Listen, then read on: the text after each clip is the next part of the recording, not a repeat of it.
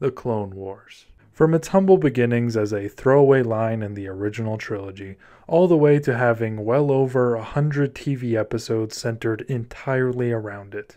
It describes a place in the storyline that, despite being just a fucking side note wedged between two movies, has undoubtedly grown to contribute the most lore, world building, and beloved characters to the world of Star Wars since its very inception in the 70s and 80s. Sure, I was very much a prequel kid, but I'd wager that I am not alone when I say that the Clone Wars era of Star Wars is my absolute favorite era in the entire saga. And it all started for me with one series. The original animated Clone Wars microseries made by the legendary Genndy Tartakovsky the creator of my favorite show of all time, Samurai Jack. The 2003 Clone Wars microseries, not to be confused with its much longer running successor helmed by Dave Filoni, which was also a pretty huge part of my childhood, was a 2D animated cartoon that aired short, bite sized Clone Wars stories from November 2003 all the way up to March 2005. Just a couple months before the release of Revenge of the Sith. This year, in fact, more accurately, the end of this year, marks the 20th anniversary of its initial airing. It's a show that means so much to me, and with it officially turning 20 fucking years old, I decided to revisit it. And I can honestly say it not only still holds up, it is nothing short of amazing. Just like my other recap review style videos, I will be going through the entire series to serve as a recap while also pointing out my thoughts, my opinions, comparisons to the other Clone Wars, and finally ending up back here for my final thoughts. So, you know, spoilers ahead for a nearly 20 year old miniseries that is tragically no longer canon, but absolutely well worth the watch. Without further ado, let's jump right into one of the most underrated pieces of Star Wars media known to man. The masterpiece that is Genndy Tartakovsky's Clone Wars. This series wastes absolutely no time jumping right into the action, with mere seconds between the end of the intro and Yoda igniting his lightsaber, instantly materializing an entire goddamn battle around him. A conflict containing ground combat, aerial combat, absolutely no shortage of explosions, and what seems like literally thousands of fighters on either side waging war with each other perfectly highlighting right out the gate what I believe to be two of the strongest aspects of this series the pacing and the scale. Now, if it's a bit confusing why I'm already diving into these aspects of the show, first off, I'm just pretty fucking excited. I'm like a kid during show and tell, and I sure brought my favorite little Star Wars cartoon. But also, I think it's somewhat important to discuss these two points early on because they go hand in hand with what this show, from a creative perspective, set out to accomplish, and ultimately, the reason why Daddy George greenlit it in the first place. There's a very cool special feature connected to this that I definitely encourage you watch sometime called Bridging the Saga. It's got a ton of behind the scenes info on the production for any fellow animation nerds like me, but also has a handful of amazing interviews with the people that made it. One of those people just so happened to be the man himself, George Lucas, who opens the feature stating the core mission statement of this cartoon. It's here purely to show us the Clone War, the war we would have otherwise not seen at all between movies. And even more importantly, show us how truly action packed and incredibly vast it was. Which brings us right back to the show. The first line of dialogue we hear is from Yoda, saying, like fire across the galaxy, the Clone Wars spread. And we then see just that conflicts on a handful of different planets, most of which we get to revisit in later shorts. We are told how many planets have already fallen into alliances with the terrible Count Dooku. We get to see some more clone troopers be the baddest motherfuckers around, as clones tend to do. And we get our introduction to our main boys, Obi Wan Kenobi and Anakin Skywalker. Master and Padawan respectively, and members of the Jedi Order. Quick cut to a meeting in Chancellor Palpatine's office. In this meeting, Yoda, Obi Wan, and Palpatine are discussing a planet named Muunilinst. A planet that is home to the Intergalactic Banking Clan, officially sided with the Separatist Army and currently producing a fuck ton of droid soldiers with every passing minute. Obi Wan expresses his concern and volunteers himself and his men to haul ass the fuck over there, and in Fortnite terms, clutch an epic victory royale for the Republic. Palpatine, who, like many of the characters in this adaptation, has a pretty interesting and hilarious design, basically says, Hell yeah, do that. And also, bring that little chosen one of yours. He's pretty good at flying shit and whatnot. Yoda and Kenobi immediately protest giving a Padawan command of the Space Forces in an attack like this, but are instantly overruled by Mr. President over here. As the troops load up, Obi-Wan looks on in disbelief that this is what it's come to, and Anakin hops in his Jedi Starfighter, a ship that looks about a million times more badass than that yellow one he has in canon now. While taking off, he levels the ship with a window of a building so we can say goodbye to Padme Amidala. They have a pretty emotional moment through these two layers of glass. They say the only goodbye they are able to with the haste of the situation. And the camera then fixes itself behind Padme as we see the mass amounts of ships leaving for battle. And that's episode one. At least I think it is. We need to quickly discuss the whole episode structure of this series because it is a bit confusing. Ultimately, there were three seasons total. Seasons 1 and 2 consist of 20 short 3 minute episodes, which were compiled together as Volume 1. While Season 3 consists of 5 more normal 12 minute episodes, which were compiled as Volume 2. I am going to go more by volumes instead of seasons, and I will be moving some episodes around a bit to be able to recap it a little more efficiently. Also, I personally never watched it as it aired in episodes. My fondest memories of this series is actually renting it from my local video rental store, getting Volume 1 one week and then Volume 2 the next. Anyways, let, let's get back on track here. The next episode opens with Obi Wan addressing a group of ARC troopers, pointing out that they are the most elite the clone army has to offer and are tasked with a special mission. The group of clones are then shown to us, and please allow me the honor of introducing to you not only one of the best parts of this series, but also one of my favorite things to graze the world of Star Wars. Ladies and gentlemen, the Muunilinst 10, an elite task force of clones led by an absolute badass named Commander Fordo, who later ride around in a gunship that looks like this. God, I really wish this shit was still canon. Before the two part ways to command different assaults on this planetary invasion, Obi-Wan and Anakin have a quick heart-to-heart. And by heart-to-heart, I mean Anakin whines a bit about Obi-Wan doubting his abilities, and Obi-Wan says that he only questions his maturity, and the decision was out of his hands anyway. The voice actor for Anakin in this series, unlike some of his co stars like Mr. Johnny Test himself over here, did not end up reprising his role in the later Clone Wars series. I do really love and have endless nostalgia for his successor, but I have to admit, this guy gives off a lot more Hayden Christensen vibes, making it sorta more true to the films. But I am the best pilot in the Order. Anyways, the battle commences with Anakin leading the Space Forces as they attack some rather phallic looking space stations, and Obi Wan, along with hundreds of gunships, depart to siege the planet's surface. The ARC troopers then break off to commence their own mission, whipping and weaving through the city, only for a lone droid to sprint his ass up some stairs and shoot him down. The pilot remains completely unfazed throughout the entire thing, and all the troops hop out of the crashed gunship as if they didn't just fall out of the fucking sky. But even after that, they cannot catch a break.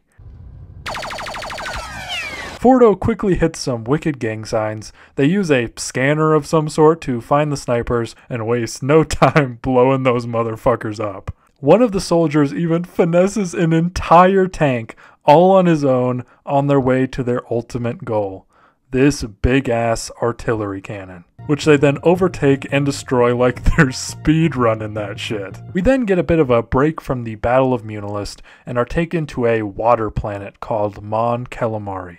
There's basically a race war going on between these fish people and these squid people.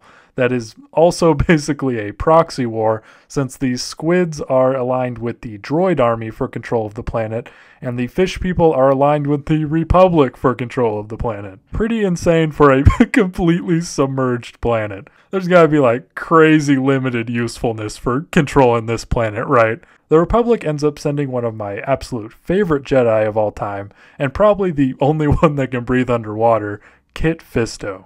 In this episode, he commands an underwater battle, has a lightsaber that works underwater somehow. Oh, yes, of course. It's because he has two crystals in there. How could I have been so naive?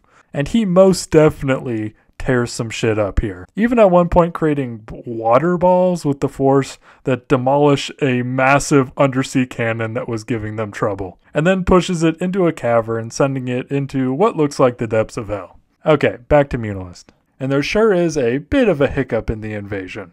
The banking clan, who are these uh, handsome Squidward looking motherfuckers, notice that the Republic's firepower is too strong for them to defend against and decide to send in their contingency plan, courtesy of Count Dooku, an armored bounty hunter named Durge. He promptly mounts his speeder and leads the Star Wars equivalent of a goddamn cavalry charge, which is just outrageously effective. They take out so much shit before on the battlefield coming face to face with Kenobi, who in retaliation was also leading a speeder bike cavalry charge.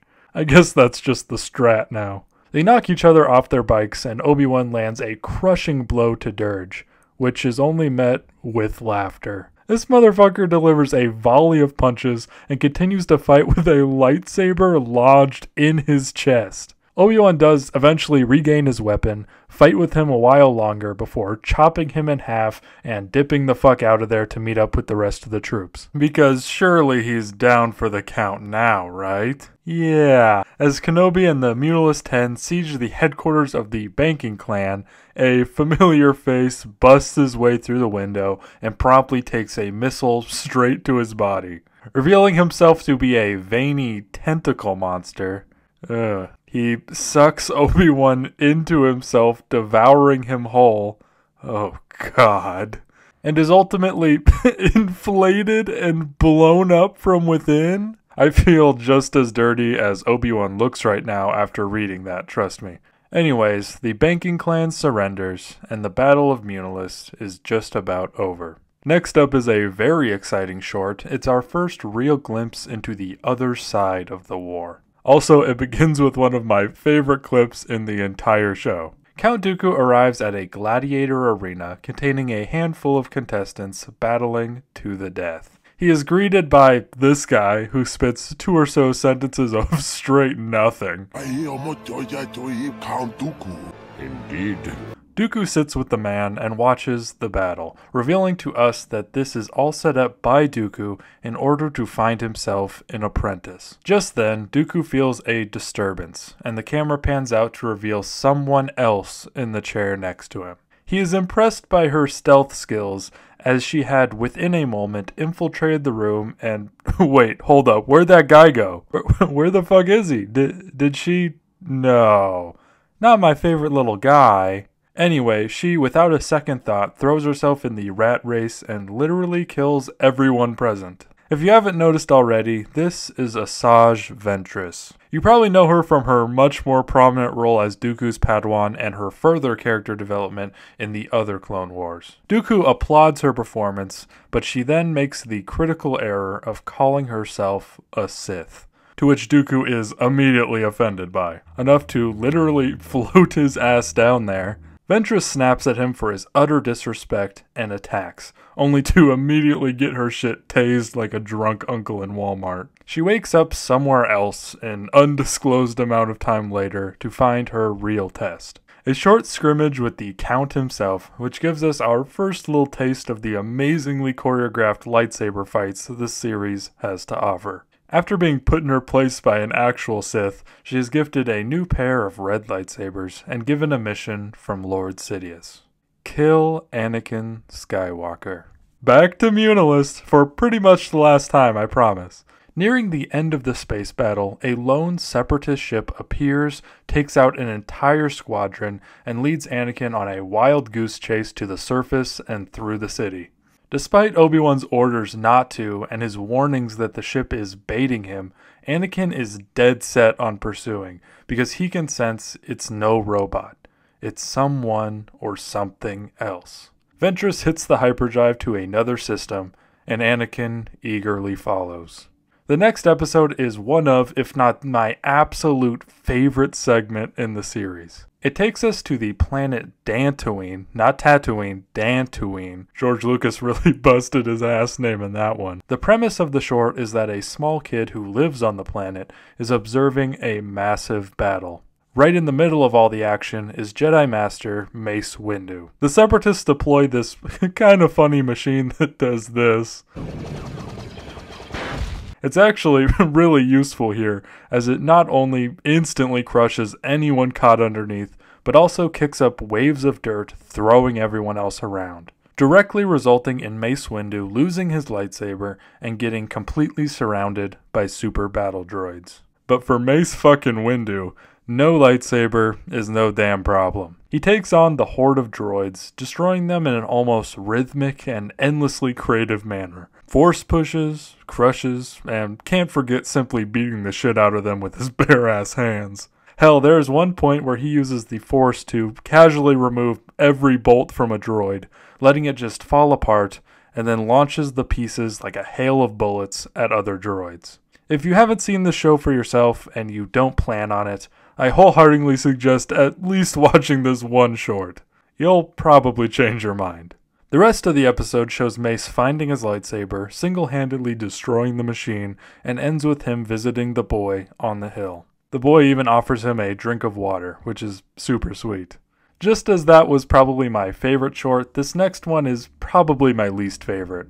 Not because it's bad by any means, just because it's the only one that while revisiting I found I didn't remember at all. Plus, it's generally not quite as solid as the others, in my opinion. I'm going to go through this one pretty fast. You ready? Jedi Luminara and her Padawan, that bastard traitor from the other Clone Wars, are finishing learning about Kyber crystals in a Kyber crystal cave. When they are attacked by robots that have cloaking technology. Yoda, who is on Padme's ship for some reason, senses these two Jedi are in danger and reroutes the ship and sets off to help. Padme, uh, she also wants to go help. She fights with a few of the robots, destroying them by using 3PO as bait. Yoda saves the Jedi off screen, and that's pretty much it. We now finally get to return to Anakin's adventure, which takes up most of the remainder of Volume 1. He lands on the planet that Ventress led him to and begins searching. A group of clones arrive who were sent to back him up, but they aren't very much help as they are all dragged and thrown through the woods, picked off Evil Dead style. Anakin hears one of the clones screaming in pain, which sounds like they fucking did it to the voice actor for real. Leading him back to the ships just in time to see him get vaporized by an explosion. All the troops and both ships are now gone. It all was a trap. Ventress reveals herself, and an absolutely amazing battle breaks out. I would personally go as far as saying it's one of the best lightsaber duels in any piece of Star Wars media. And I'd go as far as to argue that one of the biggest differences between this and the other Clone Wars, other than the word the, of course, is this incredibly dynamic action on full display here. In the end of this battle, the two find themselves in a dramatic, excellently timed standoff as rain begins to pour down and evaporate with a sizzle off their lightsabers. After some clashes in the dark ruins of an ancient structure, they find themselves on an elevated platform. Anakin has his lightsaber knocked out of his hand. And no, it's not lost on me that this is like the third fucking time I've described a Jedi losing access to his lightsaber. Anyway, it's not a problem since she has two, and sharing is caring. As long as forcibly crushing someone's arm to get them to drop something can be considered sharing. Now taking hold of a red lightsaber, the color of the Sith, and the very same color he is destined to someday ravage the galaxy with, Anakin begins giving in to his rage, prompting flashes of Yoda, Qui-Gon, and Obi-Wan to appear with every blow. And these Force visions, or whatever they are, seem very concerned, almost scared. The ground, unable to withstand these attacks, breaks beneath Ventress, causing her to fall and, at least within the confines of this show, more than likely die. And that was the plan all along. Sidious said it to Dooku right before she was recruited. She was just a pawn, sacrificed to set into motion the eventual fall of the Jedi. After returning in Ventress's ship, Anakin meets back up with Obi-Wan and apologizes for his naivety. But to Obi-Wan's dismay, remains proud of what he accomplished nonetheless, despite what it took to do so. Just then, they receive an urgent call from a Jedi who asks for immediate evac for his group. He is barely able to warn of a new droid general, a Jedi killer, before he meets his brutal end and the transmission cuts off.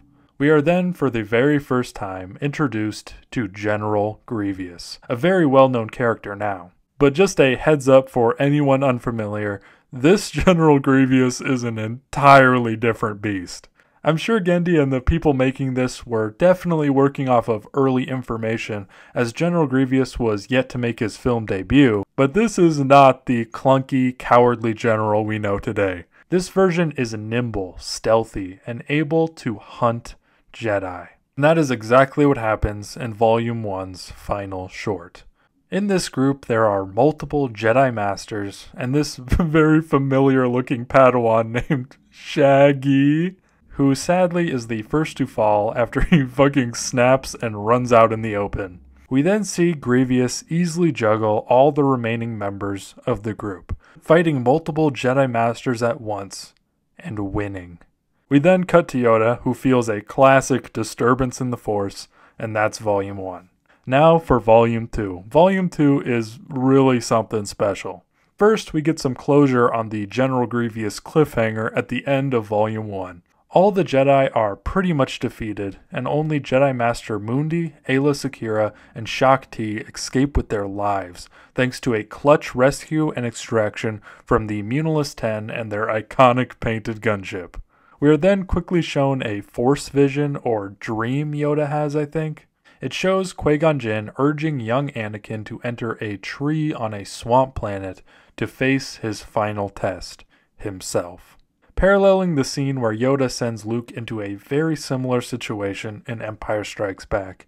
Immediately cut to a Jedi Council meeting pertaining to the new threat, General Grievous. The notion that more Jedi Knights are needed for this war comes up, and Obi Wan suggests that in this time of conflict they forego the trials that Padawans must complete to become Jedi Knights so that they can promote Anakin. He argues Anakin already passed a trial of skill by defeating Ventress, a trial of the flesh when he lost his hand to Count Dooku, and a major test of courage by enduring this war to begin with. The only test he hasn't completed in a way is the test of the spirit. The one that centers around themselves, and likely the quest Qui-Gon sent baby Anakin on in that dream.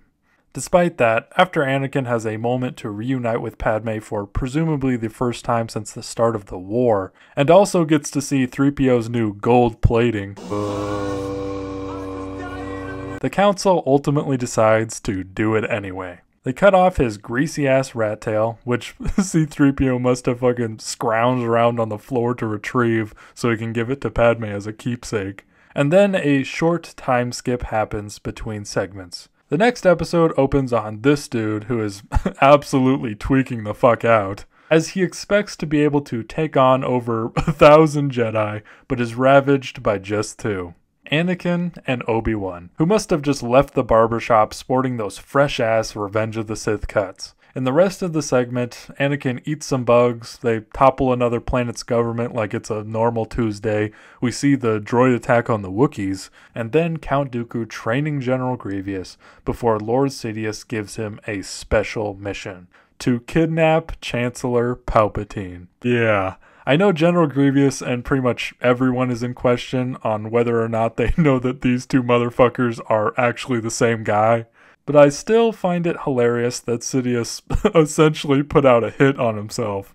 Just before the end of the episode, Anakin and Obi Wan get a lead from Palpatine that General Grievous was spotted on another random planet.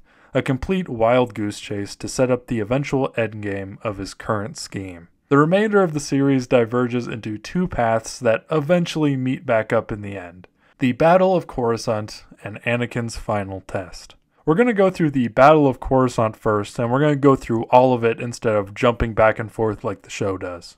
The Separatist army launches an all out assault on the capital city of the Republic and home of the Jedi Temple, the planet Coruscant. The very same battle from the opening of Revenge of the Sith. A lot of the runtime here is dedicated to a last minute showcase of the action and some of legitimately the coolest shit ever. Mace Windu takes control of an enemy ship by grabbing some wires and rides it around like a chariot. We get to see Fordo in his Phase 2 armor, single handedly holding his fucking ground before getting reinforced by Yoda. And of course, my personal favorite part. This Jedi General by the name of Saesee Tiin, Saesee Tiin, Sase Tiin, am I saying that right? I don't fucking know. He is in command of the Space Forces, lands in one of their Venator class starships, and is immediately informed that the ship is damaged and as good as lost. They angle the ship sideways and on a direct course to pass over an enemy ship. Then him and his spacesuit equipped troops fucking jump out onto the enemy ship, breaking in and taking it over. By this time, Mace and Yoda are becoming suspicious of this whole thing. The enemy isn't targeting anything of note, it's almost like a distraction for something. On the other side of the city, a group of Jedi led by Shaak Ti are sent to protect the Chancellor, who is just calmly sipping on a cappuccino or something. He probably has a fucking Keurig in his office. he would. Oh, yeah, and also escort him away from the literal war zone. But he doesn't really feel like it. Then our favorite little guy shows up. A very long but absolutely thrilling chase scene then ensues, which of course does end with the capture of the Chancellor. But before Grievous is able to get away entirely, Mace Windu takes his chance to force crush the fuck out of his chest in a brutal display, which was meant to be the original reason for his nasty ass cough and weaker demeanor in the upcoming film. I found that so fucking cool as a kid. Holy shit. Okay, now on to what Anakin and Obi Wan were balls deep into during all this. Upon landing on this cold and snowy planet, they are attacked by this monster, and Anakin, without a second thought, guts it like a fish, much to the dismay of this indigenous group who were tracking it. After going back with them to their village, they see that there are only women and children there. There is something taking over their land, and all the men, one after one, have left to fight it, but none have succeeded or even returned. The oldest villager then immediately begins reading one of their legends, prophesizing a stranger with a ghost hand who will save them. Obi Wan then volunteers Anakin because of his missing hand, seeing it as fate. The Force is giving him his test of spirit, after all. These leeches are placed on his body, which leave behind these blue marks, and Anakin tells Obi Wan he won't fail him. Obi Wan only replies with, Don't fail yourself. Anakin, still completely shirtless and most definitely at risk of hypothermia, then journeys long and hard before finding himself in a cave. On the walls are cave paintings telling the whole legend of the tribe. There was once a dark force that attacked. A noble warrior stepped up to defeat the beast and lost his hand in the process. He now finds a powerful ghost hand now takes its place. He uses it to protect his friends and loved ones, but in his pursuit of power, he becomes the very monster he set out to destroy. A perfect mirror of Anakin's own path and future, garnished with a little on the nose vision of Darth Vader. This cave also does lead him to the problem plaguing the people of this planet a mining base controlled by the separatist aligned Techno Union. There's even a bit of an Easter egg here implying that, at least in this continuity, they were the ones to give General Grievous his modifications. Anakin makes the shocking discovery inside that the village men were all captured and experimented on to create a monstrous army of soldiers. Luckily, they are not too far gone, and after simply removing the technology on them, they regain control of themselves, now completely liberated from their cruel captors. At the expense of his robot hand, Anakin then destroys the crystal powering the facility, which thaws out the village's lake and stops the violent snowstorm. Even without a hand, he still cleans out the rest of the Techno Union guys, and they all return to the village. Although the men are so bloated and disfigured now, they are still accepted back into the community with loving arms.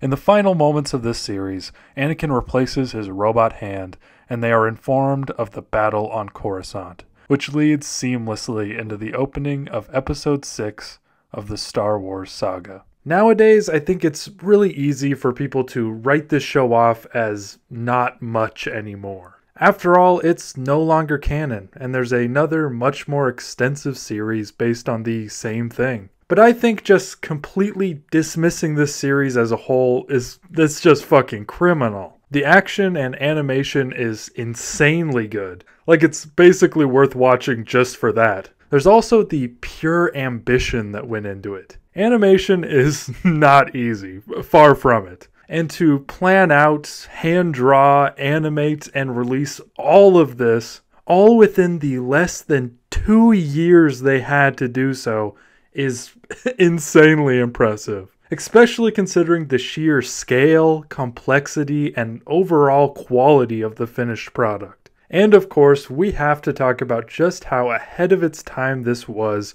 from a Star Wars lore perspective. So much of the DNA of the other Clone Wars show dates back right here.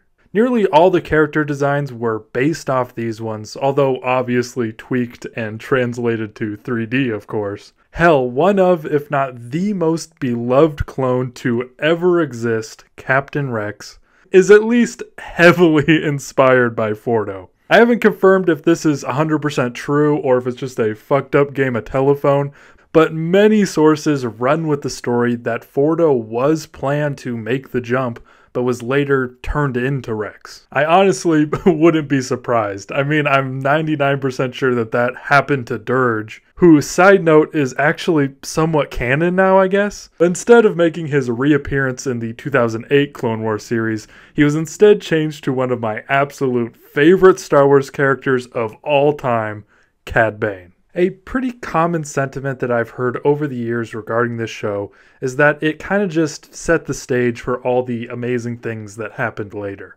Which deservedly is meant to praise the other Clone Wars series, but also kind of discredits this one. I don't think that Genndy walked so Filoni could run. I think it's more like Genndy fucking sprinted so Filoni could sprint after him, resulting in two absolutely amazing Star Wars cartoons. But only one of them not only introduced me to my favorite era in Star Wars, but also to a path that led me to discovering my favorite show of all time and a lifelong love for the art of animation. And despite any minor or major plot holes anyone wants to bring up, in my heart at least, it will always be canon. To me.